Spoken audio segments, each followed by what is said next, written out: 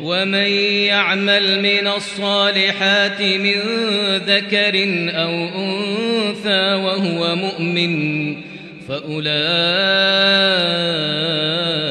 يدخلون الجنة فأولئك يدخلون الجنة ولا يظلمون نقيراً